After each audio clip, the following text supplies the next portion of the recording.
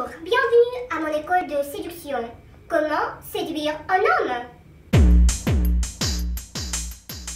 Pour séduire un homme, d'abord, il faut se débarrasser du visage contraceptif.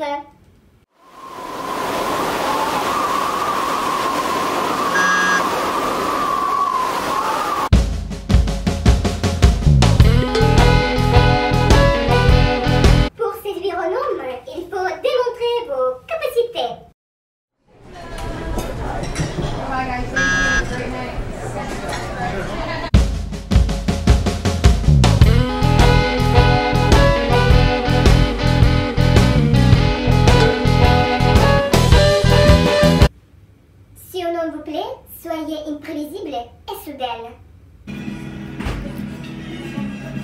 Quelle heure est-il? Hein?